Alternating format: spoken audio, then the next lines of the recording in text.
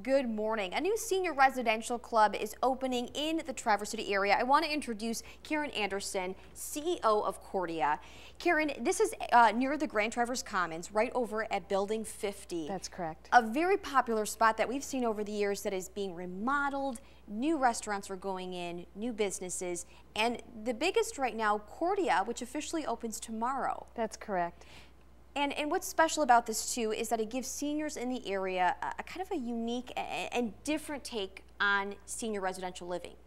That's correct. Mm -hmm. So we are the last component of the original historic building 50 to be completed. So that's exciting in itself. That is. And the residential club will house 110 private residences that are located with 30,000 square feet of private club amenity space for our members. So uh, it's a wonderful package of opportunity for our residents and our club members to enjoy, and yet we go through a door and we're connected to the Mercado and everything is there at, at our members' fingertips. There's a nice convenience factor for the residents. Well, it's convenience and it's, it's mm -hmm. vibrant, it's a vibrant village community that is created there at the Commons, and so it's not just convenience, but it's being part of a community that is active and engaged and has so many things going on all the time. And what brought about this idea to bring Cordia into the community?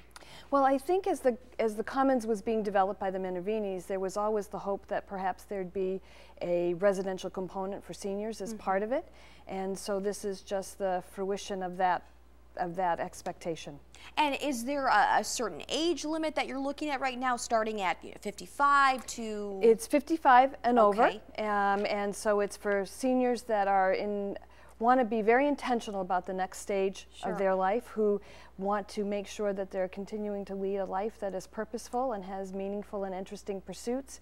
And so the club is there to support them. We have, uh, again, 110 private residences wow. and yet 30,000 square feet of club amenities, which include two dining spaces, a club dining room and an, an informal pub, a fitness center, a spa and salon, a library and computer center, billiard center, a 50-person theater. So it's, uh, it's all right state of the art. It's all right there. It's all right there. If people would uh, or they're interested in trying to get more information, is it best to go to the website uh, is, uh, or come to the open house when, everything officially we have, opens? We have uh, two open houses this okay. weekend, uh, Saturday and Sunday, both from 12 to 4 p.m.